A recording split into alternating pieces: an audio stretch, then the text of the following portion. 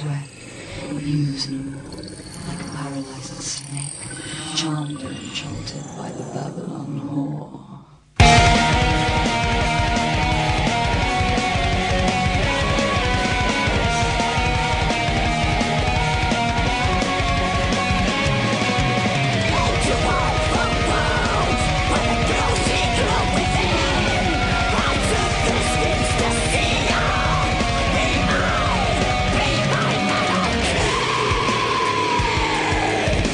The video is a bit of a departure from the theme of Damnation and a Day, um, merely because it's, an, it's the director's interpretation of the lyrics. And the lyrics are a little ambivalent in, in context of the rest of the album anyway.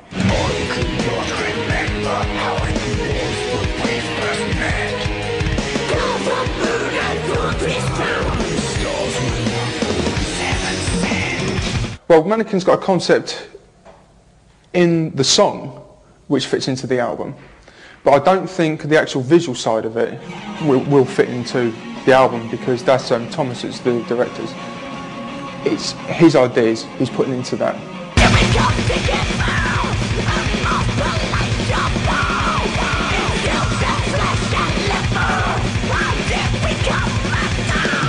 He's got the basis of the lyrics and he's just pushed it in different areas and taken some parts of it and, and uh, you know, dressed it up as it were. The ideas he's got are really good and they, they will fit on the whole Cradle of Filth imagery. Yeah, because at the end of the day we're putting, we're putting our aura into it anyhow.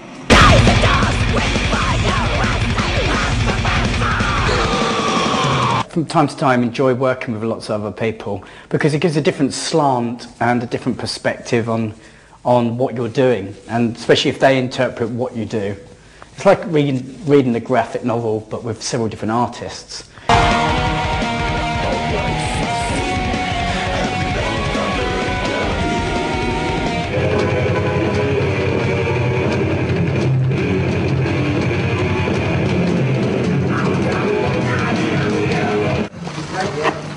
This one here contains sweat from the American tour in 2001. So you don't want to sit on it.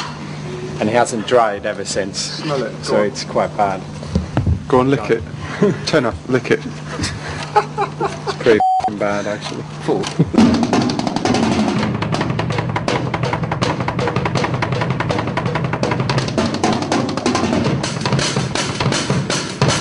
And here we are in Griffith Park just off of the side of the road by a few feet, and we're trying to make it look like uh, we're in the forest somewhere. So part of the job for the art department is going to be to make things like this disappear. Maybe throw up a few more branches, right, Leo? Yes, sir. Okay. And by the way, my name's Danny Tull. I'm the art director, and we're here on Cradle of Filth. They shot the band performing live in London, and now we're in Los Angeles to shoot the concept for the video.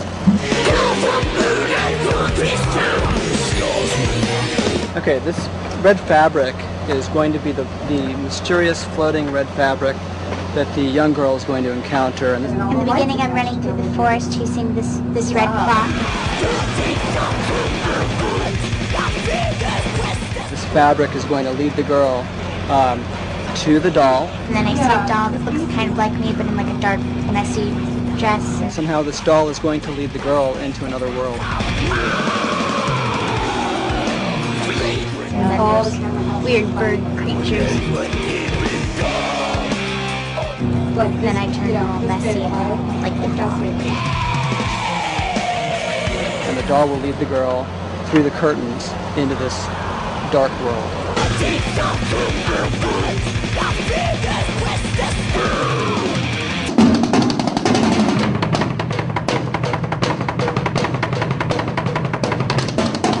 As a band, we have um, considerable control over our image. Believe it or not, I dressed myself today. we tend to try and keep everything in-house, you know, because, because what we've found out is if you try and get, you cannot actually physically um, tell people what you're thinking. It just doesn't work.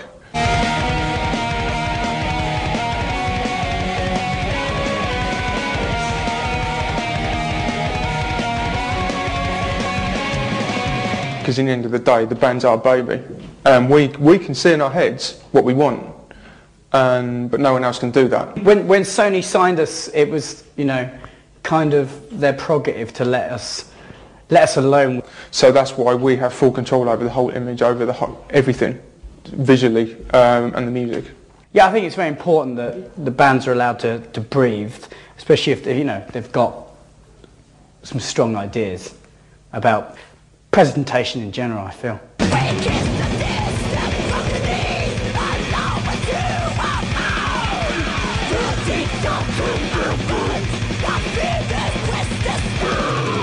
Hello. Poetry in motion. Stop being on stage up there. So freaking hot. Nice. Sweating my tits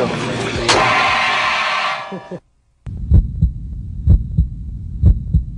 Babylon AD video was indeed banned by American MTV. We- We'd done previous works um, before with the intention of getting banned. We did some really nasty videos and subsequently they weren't banned. Um, that was hugely disappointing, obviously, because we, we thought we had a really great video, And then you do something with the intention of it actually being shown 24-7. and so we thought, you know, great, it's going to get played everywhere, because this is the reason why we've done it, because we need to get videos played in more places than where they normally get played. But it didn't, so I thought, what a f***ing waste of money.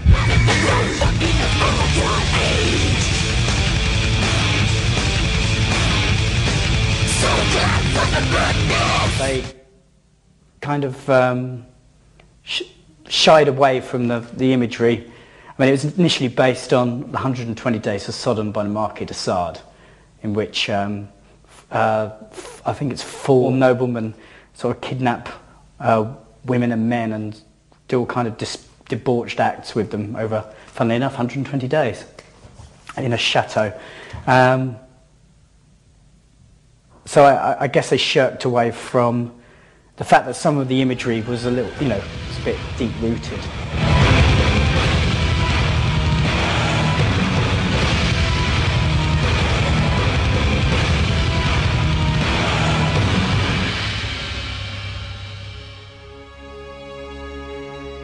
There are plans afoot to do another film, uh, whether it's Cradle of Fear 2 or, you know, a remake of Mary Poppins, um, Mary Sloppins. Damnation of the Day would make a classic, like really epic film. It's just everything. When you read the lyrics and you really know what the concept's about, so it will make a classic, classic film, almost like Spartacus. but it would be on such an epic scale. I mean, we, we had the inclusion on the record of um, the Budapest Film um, and Radio Orchestra and Choir.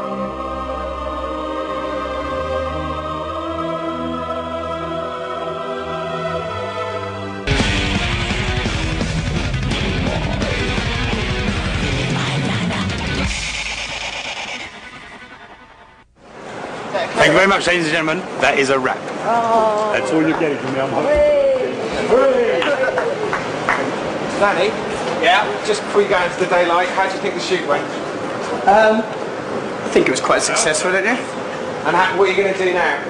Um, I'm just going to jump on a tube, I think, just like this.